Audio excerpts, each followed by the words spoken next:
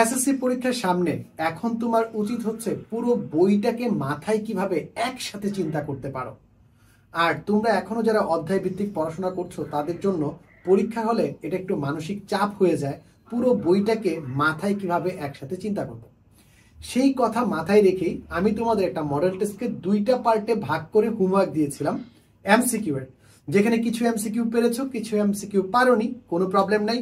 সেই এমসিকিউ এর সলিউশনের আজকের পর্বে তোমরা অর্ধেক অর্ধেক পাবা, যে পার্টগুলো আছে অর্ধেক অর্ধেক পেয়ে যাচ্ছ। তোমরা ঝটপট কমেন্টে জানাবা এরকম মডেল টেস্ট কয়টা পেতে চাও এবং হায়ার ম্যাথের কয়টা মডেল টেস্ট লাগবে। ঝটপট কমেন্টে জানাও। আর এখন চলো বন্ধুদেরকেও জানিয়ে দাও।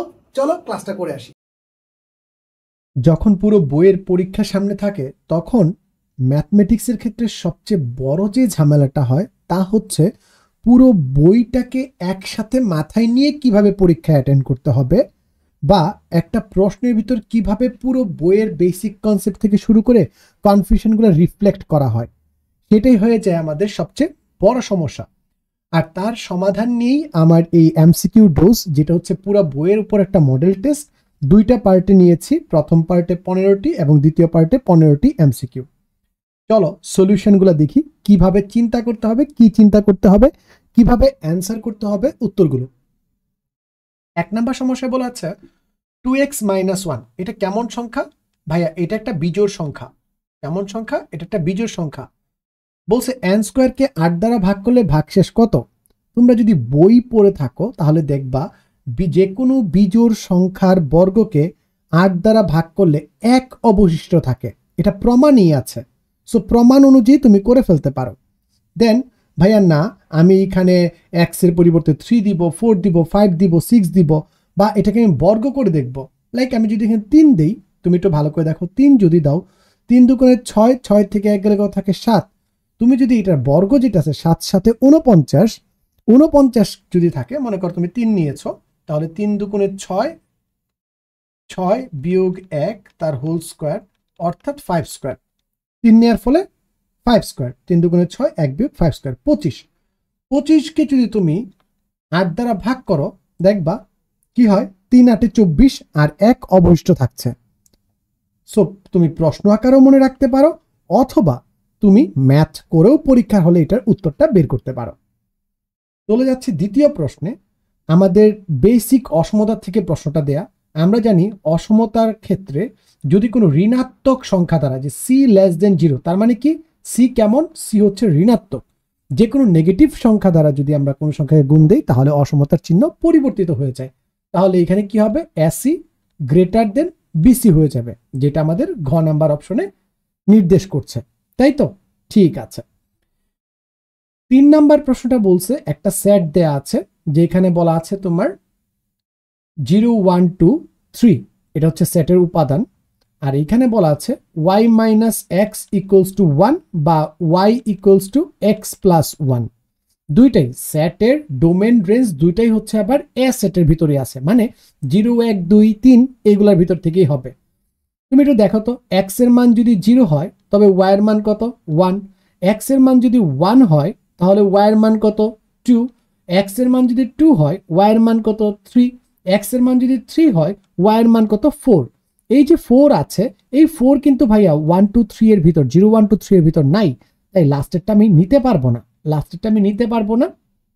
উত্তর থাকবে কি? Zero one one two two three এখন বলেছে রেঞ্জ কত? তুমি যদি রেঞ্জটা খেয়াল করো ওয়ান টু থ্রি হচ্ছে আমার সেই কাঙ্ক্ষিত range easy so one two three হয়ে যাবে আমাদের সঠিক উত্তর। চার নাম্বার প্রশ্ন, একটা বেসিক কনসেপ্ট কোনো একটা সেট মনে করো এক দুই একটা সেট এক দুই একটা সেট তার পূরক সেট কি হবে? এর পূরক সেট কি হবে? মনে করো এক দুই তিন আছে, এক দুই তিন আছে। তাহলে এই এ সেটের পূরক সেট কি? এর যদি ইউ হয় এ সেটের পূরক সেট কি? এ সেটের পূরক সেট হচ্ছে অনলি তিন। তাহলে নর্মালি আমরা বুঝি একটা সেট আর তার পূরক সেটের ভিতর কোনো কিছু কমন নাই। সো এইখানে যদি তুমি কমন ফেলাইতে যাও, কোনো কিন্তু কমন পাবে না। That's why N intersect N C উত্তর হয়ে যাবে ফাঁকা। উত্তর হয়ে যাবে ফাঁকা সেট ক্লিয়ার ভাইয়া? একদম ক্লিয়ার পরবর্তী প্রশ্ন P cube minus one by sixty four আমি একটু আলাদা পেজে তোমাকে করে দিই। কি দেয়া আছে? আমাদের দেয়া আছে হচ্ছে P cube minus one by sixty four তুমি যদি একটু ভালো করে খেয়াল করো P cube minus one by four তার হোল কিউব। তাহলে সূত্রটা কি?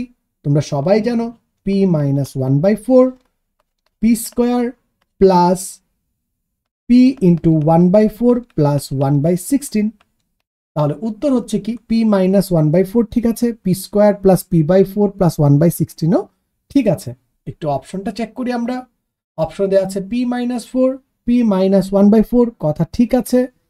P square, P by four plus one by sixteen ঠিক আছে, কিন্তু ভাইয়া এই যে উপাদানটা আছে, এই উপাদানটা ঠিক নাই।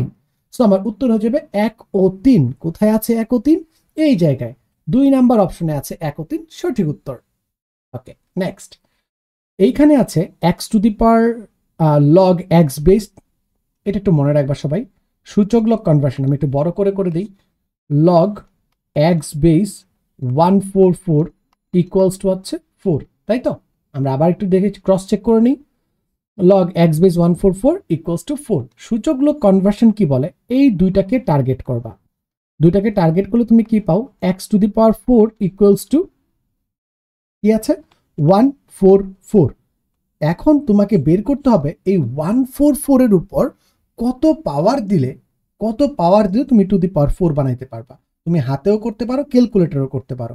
যদি তোমার ইএস ক্যালকুলেটর থাকে তাহলে just one four four to the power যদি ওয়ান বাই ফোর দিয়ে দাও, এখানে যেটা আছে ওই পাশে গিয়ে পাওয়ার ওয়ান বাই ফোর হয়ে যাবে, তুমি উত্তর পেয়ে যাবা। আর যদি তোমার এমএস ক্যালকুলেটর থাকে, তাহলে বেটার তুমি হাতে করে নাও। হাতে কীভাবে করবা? সেই ক্ষেত্রেও তোমাদের কয়েকটা অপশন আমি একটু বলে দিই। দেখো, তোমার উত্তর মনে হচ্ছে two by root over three এটা উত্তর হইতে পারে। তুমি একটা কাজ করো টু বাই রুট ওভার থ্রির উপর কি আছে? তোমার উত্তর মনে হচ্ছে two by root over three মনে হচ্ছে, ঠিক আছে? তুমি কি করবা? টু রুট থ্রি যে কোনো ক্যালকুলেটারে। আমারটা ইএস ক্যালকুলেটর আছে, তুমি যে কোনো ক্যালকুলেটর নিয়ে ফোর দিয়ে দেখো, উত্তর কত আসে। একশো চুয়াল্লিশ চলে আসছে, তার মানে এটাই উত্তর। আমার যে অপশনগুলো আছে, সেই অপশনগুলোর উপর পাওয়ার করব, সেই অপশনগুলোর উপর পাওয়ার দিব, যেটার ক্ষেত্রে ওয়ান ফোর ফোর মিলবে, সেটাই সঠিক উত্তর। হাউ ইজ দ্য জোশ হাউ ইজ দ্য জোশ কোনো ক্যালকুলেট করা লাগবে? না।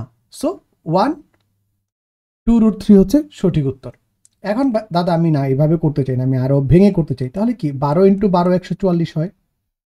বারো মানে কি? Three into four three into four তার মানে কি? থ্রি স্কোয়ার ইন্টু এখানে আবার টু টু দি পাওয়ার কি থাকে? ফোর তাহলে রুট ওভার থ্রি তার স্কোয়ার তার উপর স্কোয়ার এক স্কোয়ারের রুট গেল, আরেকটা স্কোয়ার থেকে গেল two to the power four তাহলে দেখো ভাইয়া two to the power two root three তার whole to the power four equals to তুমি পেয়ে যাবা one four four how is the জোশ হাতে করো ক্যালকুলেটরে করো যেভাবে করো ট্রিক শিখাই দিছি, উত্তর তোমার হাতে। উত্তর এখন তোমার হাতে। ঠিক আছে ভাইয়া? নেক্সট চলো। এটার পূর্ণক কত? পূর্ণক বের করার জন্য পূর্ণকার অংশক, একটু মনে রাখবা, পূর্ণক অংশকের জন্য আমার আছে zero point zero zero zero point কয়টা জিরো দেওয়া আছে? জিরো পয়েন্ট দুইটা জিরো থ্রি ফাইভ। দুইটা জিরো, থ্রি, ফাইভ। একদম টেকনিক শিখাই দিচ্ছি। প্রথমে বৈজ্ঞানিক পদ্ধতিতে প্রকাশ করবা। Three point five into ten to the power minus three বৈজ্ঞানিক পদ্ধতির ক্ষেত্রে মনে রাখবা, সামনের যে সংখ্যাটা আছে, এই সংখ্যাটা মাস্ট বি জিরো যে এই সংখ্যার যেটা আছে, সেটা ওয়ান বা তার সমান ওয়ানের সমান বা তার থেকে বড়, এ কিন্তু দশ থেকে ছোট হওয়া লাগবে। তার মানে এক থেকে দশের ভিতর হইতে হবে। এটা ভেরি ভেরি ইম্পর্টেন্ট এমসিকিউ হুবহু এটাই চলে আসবে কোনো একটা মডেল টেস্টে আর এই যে উপরের পাওয়ারটা আছে মাইনাস থ্রি এই মাইনাস থ্রি হচ্ছে পূর্ণক। এটাকে মাইনাস থ্রি দিয়েও লিখে, অনেক ক্ষেত্রে দেখবা থ্রি বার দিয়ে লিখে, এটা হচ্ছে পূর্ণক। আরেকটা অপশন বাকি থাকে, অংশক কত? তুমি জাস্ট লক চেপে থ্রি পয়েন্ট ফাইভ লিখো। আমরা যদি লক চেপে লগ থ্রি পয়েন্ট ফাইভ যদি লিখে দিই যেইটা আসবে, এইটাই হচ্ছে তার অংশক। অর্থাৎ zero point five four four এইটাই হয়ে যাবে তার অংশক। হাউ ইজ দ্য জোশ মাই ডিয়ার স্টুডেন্ট সো এই ক্ষেত্রে আমাদের উত্তর কি হবে? সাতের উত্তর হয়ে যাবে গ থ্রি বার এখন বলছে, এই দুটো সমীকরণকে তুলনা করতে, তুলনা করে এর মান বের করতে। তুলনা কীভাবে করে? এক্সের সহগ আর এক্স স্কোয়ারের সহগ।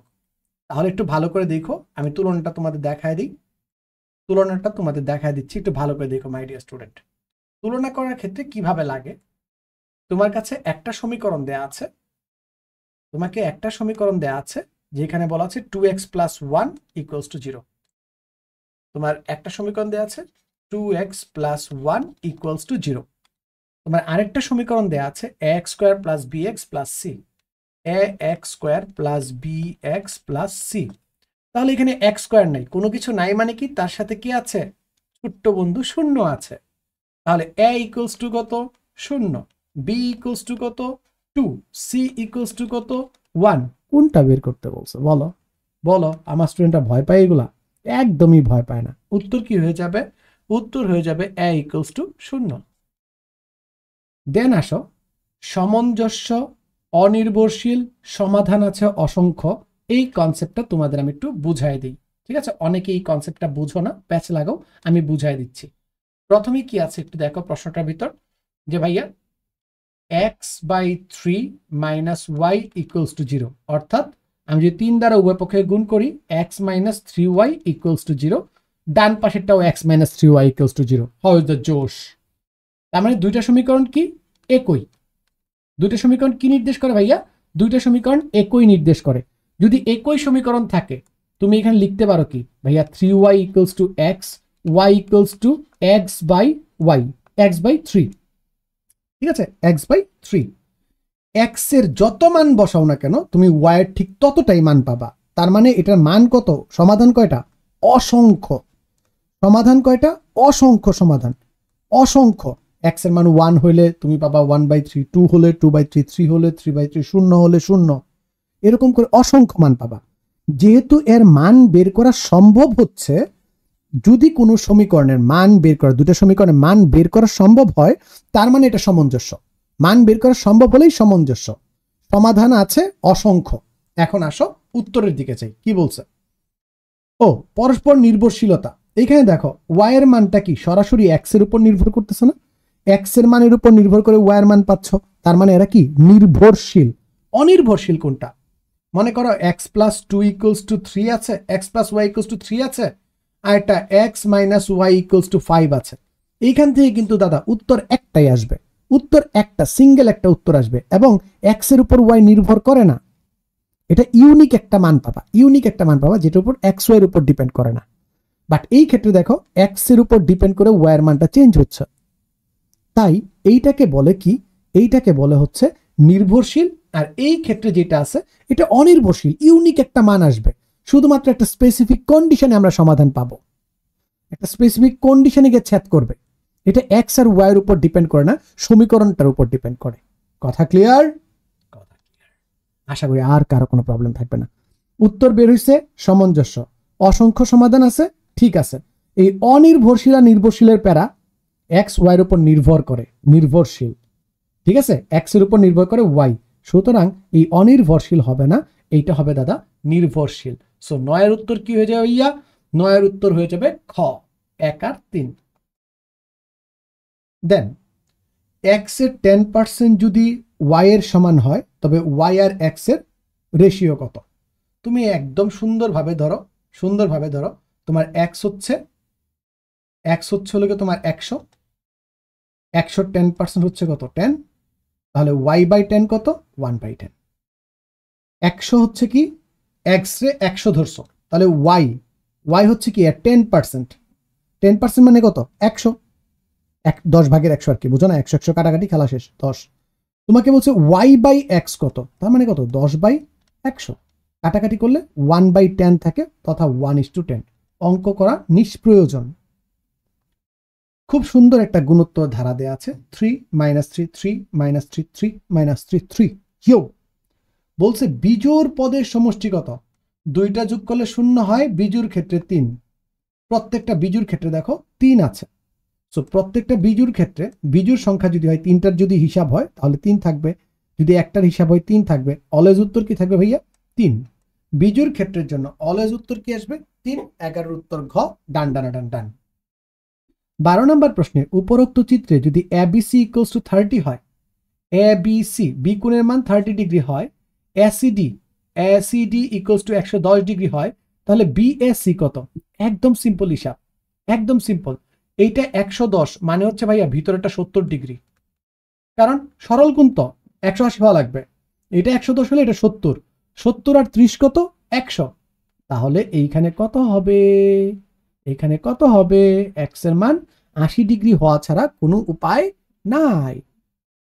সরল কোণ একশো দশ, ভিতরে সত্তর, ত্রিভুজের তিন কোণের সমষ্টি একশো আশি, সত্তর আর ত্রিশ হচ্ছে একশো, সত্তর আর ত্রিশ হচ্ছে একশো, এইখান থেকে তুমি পেয়ে যাও এক্সের মান আশি। অন্য আর একটা সূত্র আছে, সেটা কি? কোন ত্রিভুজের বহিস্থ কোণ একশো দশ, বিপরীত অন্তস্থ কোণ দুইটা সমষ্টির সমান এক্স প্লাস থার্টির সমান এক্স প্লাস থার্টির সমান এইখান থেকেও এক্সের মান তুমি এইটটি পাবা। কোন দিকে যেতে চাও up to you how is the চোস পরিসীমা দেয়া থাকলে নিচের কোন চিত্রটি আঁকা সম্ভব? শুধুমাত্র পরিসীমা দেয়া থাকলে বাবা বর্গ আঁকতে পারব। কারণ কোন জানি রম্বস সামান্তরিক আয়তক্ষেত্র আমি আঁকতে পারব? না। চোদ্দ নম্বর প্রশ্নে বলছে যে বিসিডি সমান কত? আমরা জানি বৃত্তে অন্তর্লিখিত চতুর্ভুজের, বৃত্তে অন্তর্লিখিত চতুর্ভুজের, বৃত্তে অন্তর্লিখিত মানে ভিতরে অঙ্কিত চতুর্ভুজের বিপরীত কোণগুলার সমষ্টি একশো আশি, দুই সমকোণ বা সম্পূরক, ভিন্ন ভিন্ন নামে পরিচয় করা দেওয়া হয়। একশো আশি বলা হয়, দুই সমকোণ বলা হয় বা সম্পূরক বলা হয়। যদি সম্পূরক বলে থাকে বা একশো আশি হয়ে থাকে, তোমার উত্তর হয়ে যাবে দাদা একশো আশি minus eighty five so the answer is ninety five answer is ninety five চোদ্দ number answer is ninety five সুতরাং গ নাম্বার সঠিক উত্তর। বিওডি দেয়া আছে। বিওডি এর প্রবৃদ্ধ বিওডি কত? তার মানে এই কোনটা কত? এই যে প্রবৃদ্ধ মানে কি? মনে রাখবা, প্রবৃদ্ধ কোণের সংজ্ঞা। একশো আশি থেকে যেই কোণ বড়, কিন্তু তিনশো ষাট থেকে ছোট, তাকে প্রবৃদ্ধ কোণ বলে। তোমাদের পুরাতন ভার্সন বা নতুন ভার্সনের বইয়ের ভিতরে চিত্রটা ভুল দেয়া। প্রবৃদ্ধ নিচেরটাকে বলতেছিল।